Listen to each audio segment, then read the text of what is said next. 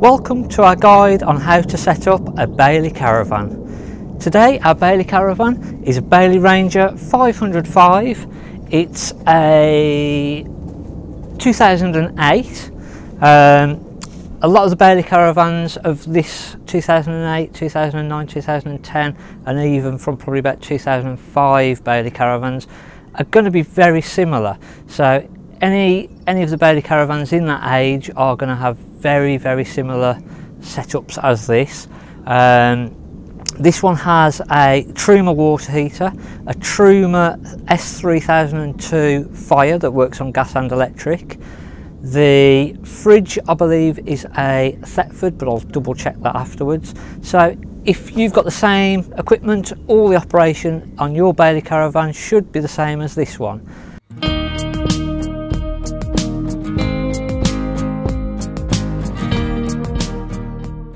We've now pulled up on site and we're going to get ready to show you how to work everything, how to operate it and how to set up. The first thing that we need to do is put all the legs down. So we've got corner steadies at the front, both sides and then two at the rear.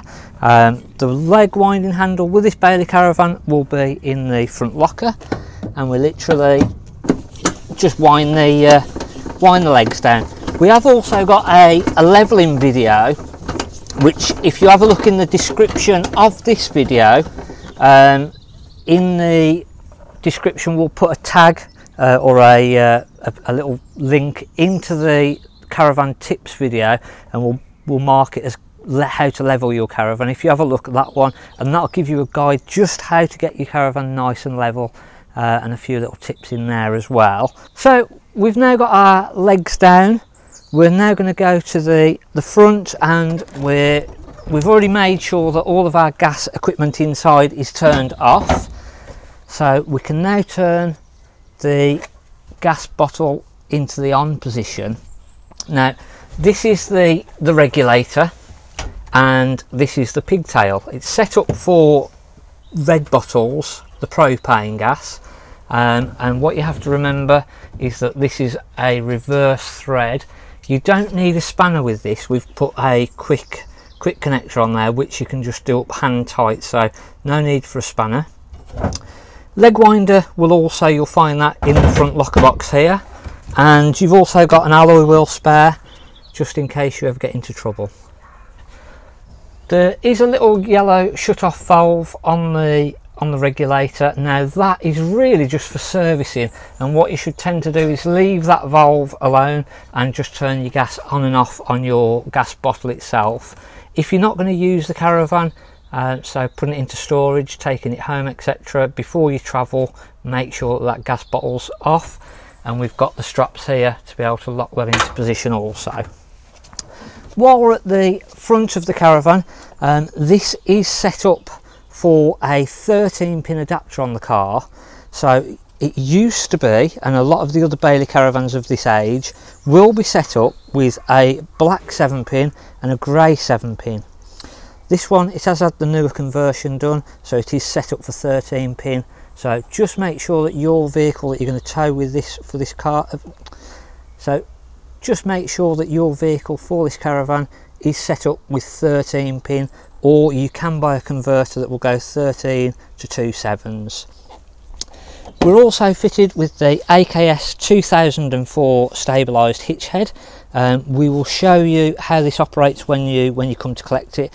We have also got a hitching up guide in the description. We'll put a link to our hitching up guide as well so that will help and just run through the little checks uh, with the breakaway cable, the black handle and actually how to hitch up onto the car. So as I say, you'll find that in, in the description, there'll be a link there for that also. Move on to the side, so we've then got our 230 connection and room for our battery in the battery box. So going on to a battery, we've got red is the positive and black is the negative. So that will just have to go onto the corresponding joints on the on the battery. Our 230 hookup then literally as you get onto site you'll just plug in. There's a little cutout here for the cable and then you'll be able to lock that up once you're on site also. So next along we've got our cassette toilet. We've got our filler for our flush water which is literally just a, um, a water bottle or a watering can and that will fill up and the pink chemical goes into the, the top unit here. Lock that one back up. Your actual cassette then at the at the bottom is there's a little yellow trigger here that will release the cassette and that will come out. To actually empty the cassette toilet is take off the yellow cap, little breather button and that will empty straight down into the Elsan point on site. If you want to put blue chemical or clean this out, there's a little yellow bung just at the side here. That will slide across and then you can clean out and put chemicals etc straight into there what we must do is make sure that that is back fully closed in the in line position there otherwise it won't slide back in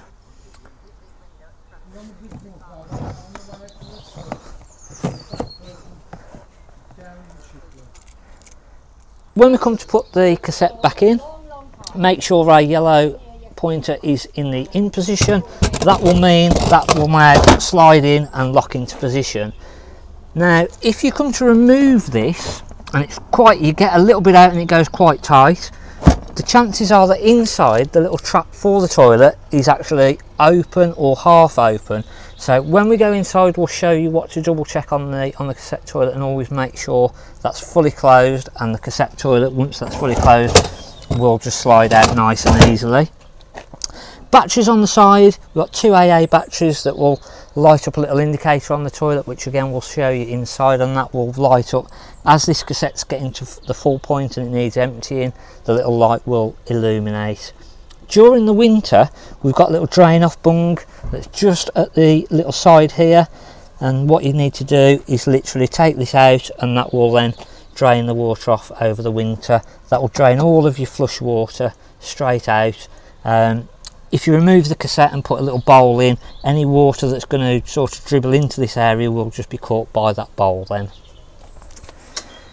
Onto our water. So our water pump will then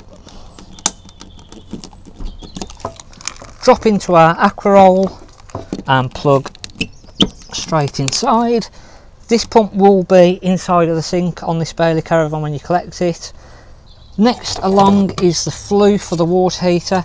Now it'll probably have this cover on when you come to collect it. When you come to use the caravan, just get into a habit of removing this as you're using it. It's not that important on the electric side of things, but if you're going to use the hot water on gas, this cover does have to be removed, otherwise the boiler won't light uh, and it's going to cause you problems. This has also had a external 230 volt socket uh, fitted on the back here. So if you need any power for any reason, uh, on the outside you've got an external 230 socket here. All of your wastewater from sink, shower, uh, bathroom sink and kitchen sink will come out of these two exits here. So that all of your wastewater straight out of these here. Moving around. There's nothing on the on the back side of the caravan that you need to do. The only other thing that is on the near side somebody has fitted an external aerial point. Um, so again when you come to connect an external aerial uh, it'll be into this this fitting here so if you go into a site and they've got satellite connection or a different aerial air, an external aerial connection you can connect straight into this one uh, it is also fitted with an aerial on the roof, um, so you, you have got that option, but again, sometimes you won't get very good signal on that. I'll just pop the awning light on as you're outside, um, and to put the awning light on, I'll show you in a second, we've got a master button which puts our master power on, and then our awning light switch, which then puts the awning light on and off. So on entry to the caravan, our first item, as I was just saying about the master switch, is this will put our master power on. Uh, this will then on our voltage indicator at the top tell us what we've got either from the battery or coming out of the charger when we're plugged into the 230 mains electric.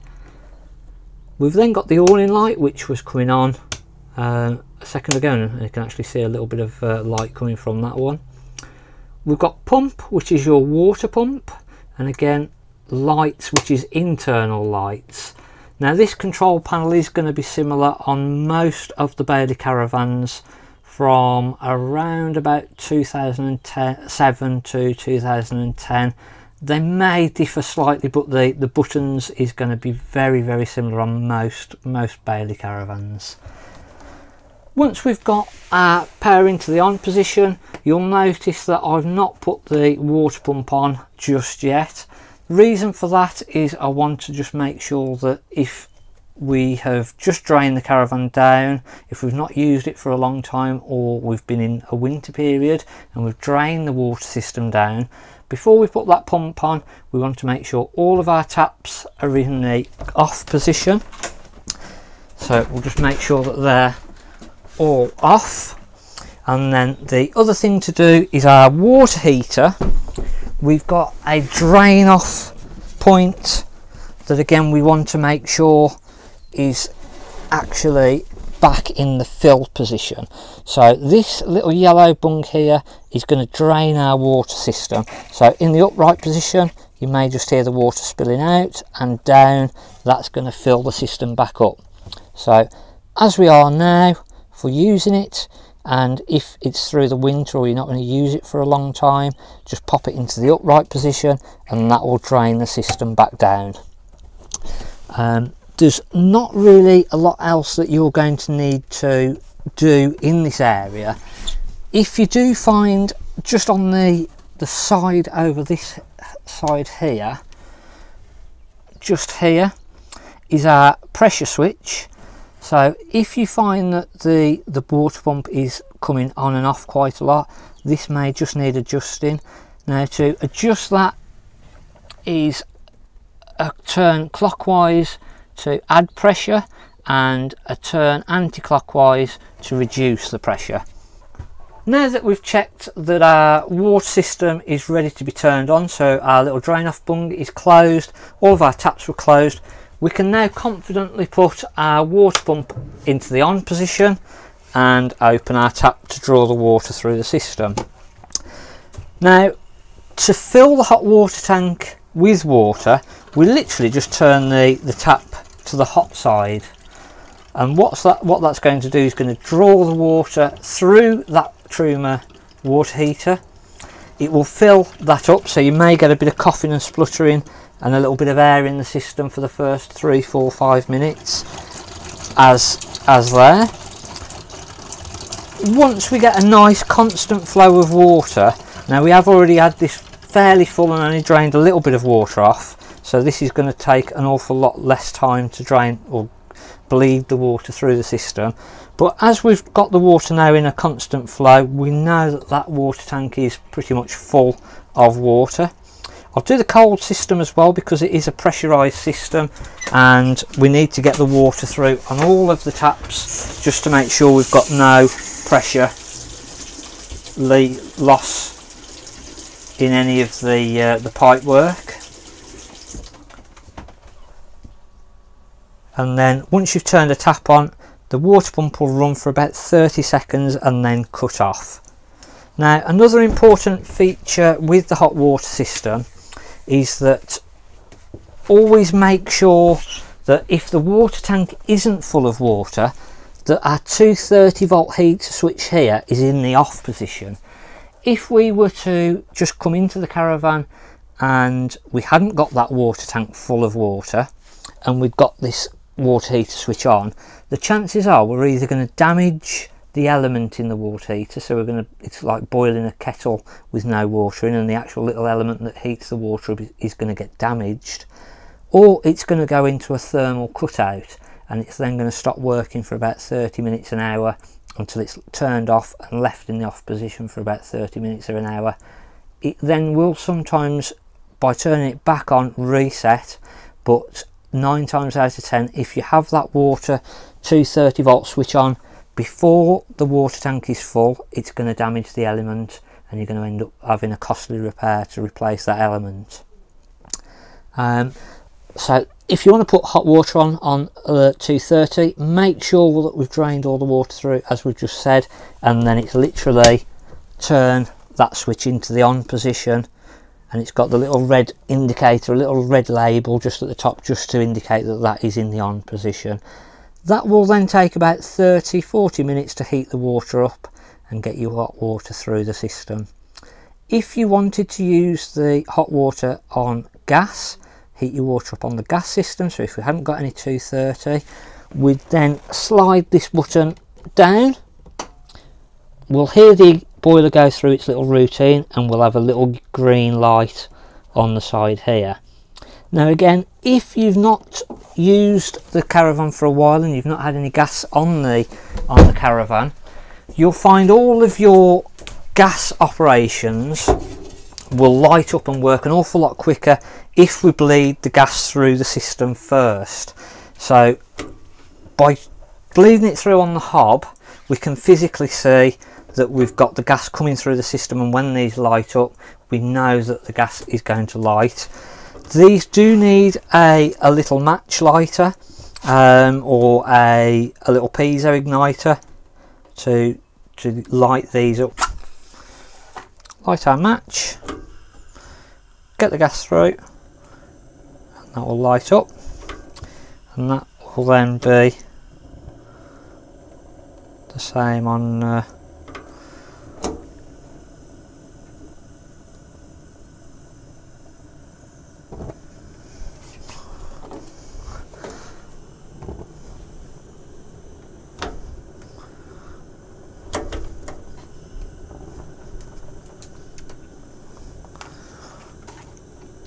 on all uh, all rings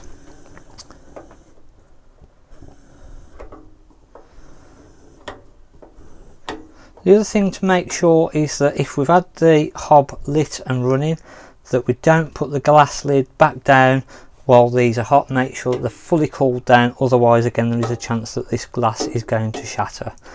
The little ticking noises you may have heard as, as these were cooling down or shutting off is a little flame safety devices on the ring so if it detects that the gas has gone out the flame failure device will cut the gas off and the little ticking noise that you'll hear is, is those.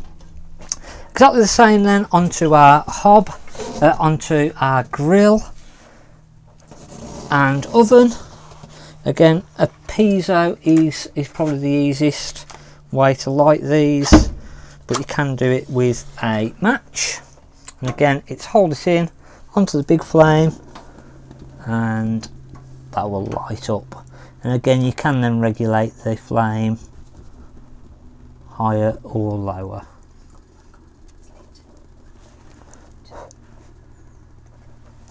Onto the oven.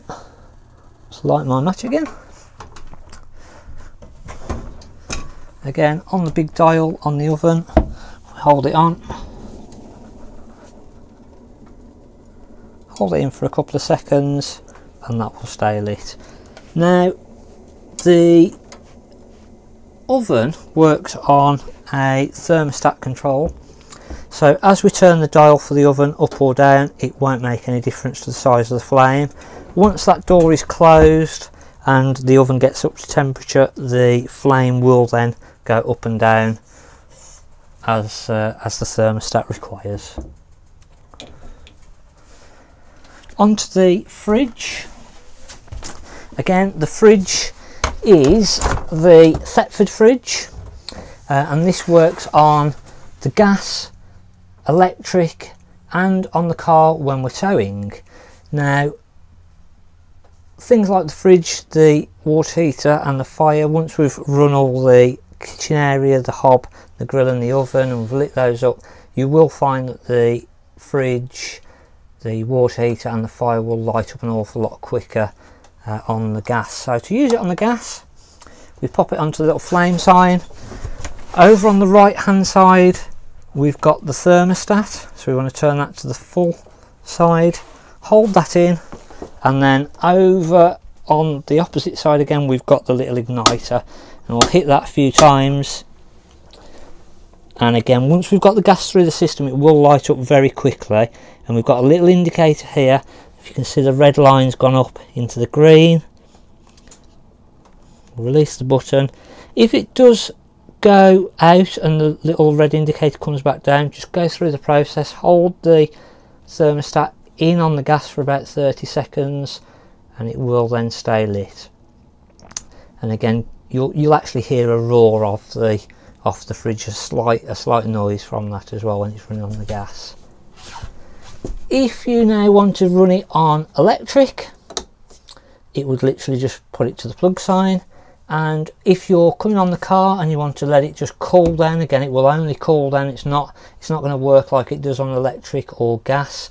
We literally just pop it onto the battery symbol and that will then run on the car if your car is wired to do so. Again once we've finished with the fridge just always pop it back into the off position. It's advisable if you're not going to use the fridge for some time to pop something in just to hold the freezer door open. And again there is a little setting on the fridge door the little tab here will hook underneath and that'll just keep the fridge ajar if you're not going to use that for some time. Again that will then slide back in and just close as normal. Onto our fire. So again we're fitted with the Truma S3002 fire. Now this has got the blown air heating on the gas and on the electric. So to light this up on the gas we're going to turn the control dial around to 10 we hold this one in and then we've got our igniter. And now if we hit this probably four or five times and as we release this we may just hear it roar up. So hopefully you heard that roar up. If you can't hear it going there is a little spy hole here that if you get into the right angle you can see the flame through but if you just put your ear close to the fire you will actually hear that roaring up.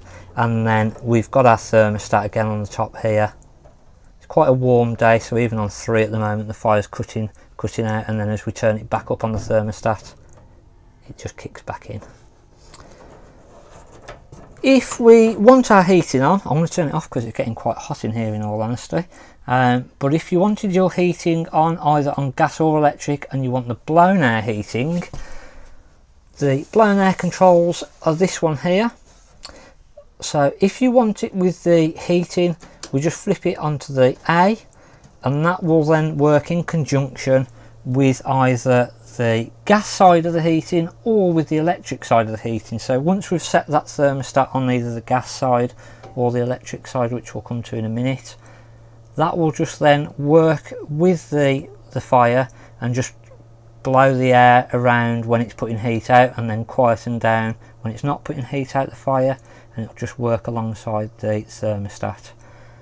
Also on a nice day today it's getting a little bit hot we can then put it onto the flag symbol and then we can use the dial 1 to 5 and we can adjust the temp or the the speed of that fan and that will just blow cool air around the caravan so that will uh, it won't really cool it down so much but it will it will help a little bit if you've got the windows open it will just uh, blow that, that that air around if you want to use the fire on electric, which if you're going onto site and you're paying for your electric, we can then operate the fire on the 230 volt heating. Now we have two, two parts to this.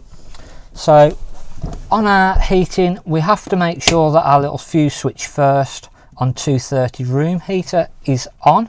So again, we've got the little red line at the top just to say that that's in the on position. And then our actual controls for this fire are here. So at the moment we're in the off position. If I slide this down to 500 you'll see a little light come on. So hopefully you can see a little green light in there now if you've not got that green light the chances are you've not got this switch on so now we've got 500 1000 and 2000 and that's watts so we've got 500 watts, 1000 watts and 2000 watts. Um, so again, if you're on a site and it's got a good power supply and it's cold, you can just pop that straight onto 2000 watts. If you're on a site and the electric is a little bit more limited, you may have to run that on 500 or 1000. Now, doesn't really matter which setting that you run it on. Um, the thermostat in the middle is exactly the same on, on all and this will then control what temperature the fire runs at and again you may just hear it ticking as we turn that and that's just telling us that the thermostat on the fire is just kicking in and then back out again as we drop the temperature and again exactly the same with the blown air heating. If you put the blown air dial into the A like we did just that will then work in conjunction with this thermostat and put the air around the caravan as required. You've then got your 230 volt plugs so again you've got to make sure that you've got the 230 volt plugged in. If you've got no 230 volt plugged in on the outside obviously these sockets aren't going to work. But you have also got 12 volt sockets. So again if you've got a battery on these will work. So if you've got 12 volt TV that that will work. And as as mentioned earlier this has got an aerial fitted on the roof. And just inside of the wardrobe here we've got the little booster box for the aerial now the little red light indicates that that is on and working. Uh, now this is fitted with a analog aerial because we're got blue writing so that that refers that it's an analog aerial. So the reception on this isn't going to be fantastic. It is going to be a bit hit and miss. Even on the digital ones to be fair they're, they're not the best of things in the world um, which is probably why the aerial on the outside has been fitted all of our lights have got individual switches on so each individual light has got its own switch actually on the on the light itself. There's two above on the roof light and again each individual light as I say has got its own little switch. The light switch that's by the door on the control panel if we were going to go out now for the evening and we've got the lights on by turning that light switch off that will disconnect all of the lights inside of the caravan. So when we come back of an evening we're not going to go around turning all individual lights on and off as we go out. We can literally just turn them off on the main switch and as we walk back in just put all the lights on. And again that's the same all the way through the van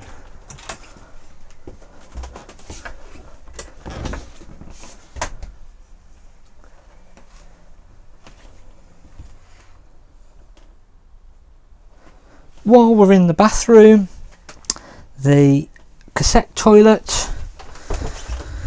Where I was explaining about the cassette not coming out and the, the little trapdoor being not fully closed we've got a little grey lever at the side here which opens and closes the, the little sh shutter in the inside of the toilet. Now when you come to remove that cassette make sure that this grey handle is fully back and the little trap hole is fully closed. That then is going to make sure that, that cassette will be able to come out nice and freely. To flush the toilet it's got a little plunger flush and it's literally just push that up and down and that will push your flush water through. And then again to let everything through we just open the trap up and that will let everything back through into the cassette there is a little indicator on the top here that will light up. Uh, in all honesty, what I tend to do is when we go to empty the, the wastewater, so uh, on the outside where we've got our connectors for the or sink and shower wastewater, when I go to empty that I normally just empty the cassette toilet as well. If you want to use the shower in this one, it extends up on the on the hose. The little pull out comes out and that turns it into a shower. Push it back in and that turns it back into a tap. And again once you've finished that just pushes straight back in. There is a little holder just on the side for the shower. So that just pops into there and you pull the curtain around. The main electrics box so all of your trip switches fuses etc are just underneath this front seat here.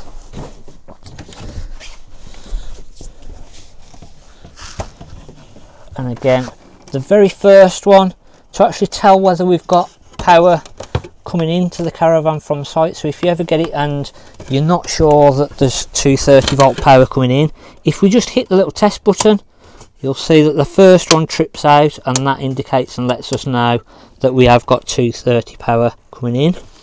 Our little individual fuses so lights pumps igniters ray roof no fire water heater from the car for the fridge van battery etc they're all they're all in there.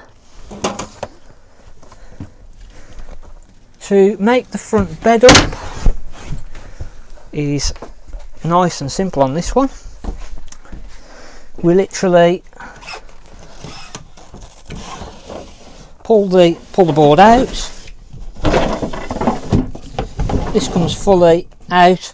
Our back cushions then can either go into the middle or we can turn these cushions over and put them to the outside. There's no rolls on these cushions so even with just putting the backrests into the middle um, you do just get a bit of a gap so again it depends then how you want to set that up and whether you want to fold them over. Um, but again it's it's quite good to be fair on this just dropping the the back cushions into the middle and that does make a good comfortable bed on this one. We did another video previously we got a lot of people saying oh you didn't turn all the cushions over. Uh, that wouldn't be comfortable that to be fair is is very comfortable. There's no rolls so uh, two sleeping bags on there then is is absolutely perfect.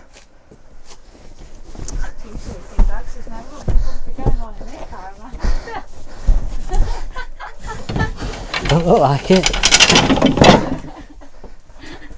So our main roof light we've got little catches with little push buttons on to make sure you push the button in on day to day like today we do need that roof light open to be fair we should have done it earlier. And that then just pushes fully open.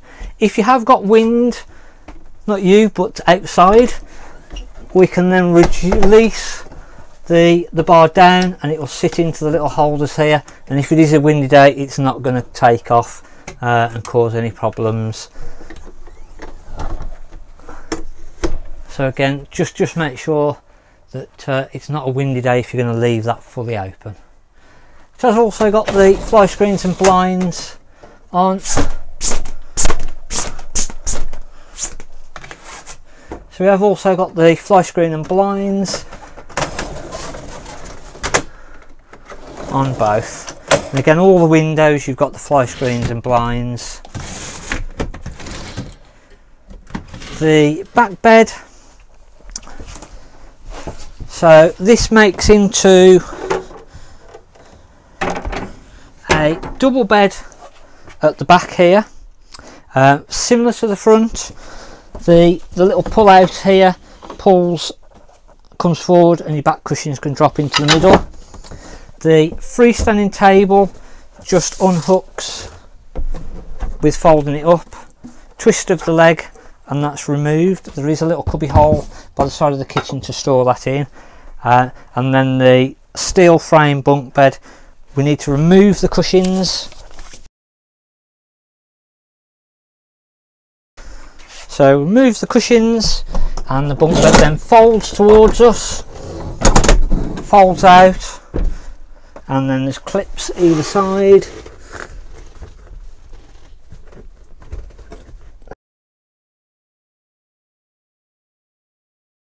So these little materials clip underneath each side, folds towards us and folds out and back up.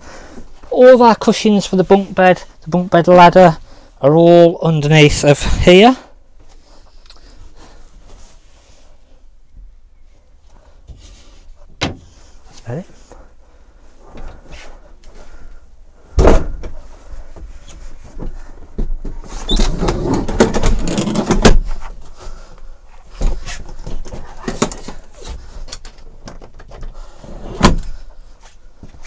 And again to put the back bed back together nice and quick cushions just trot back in.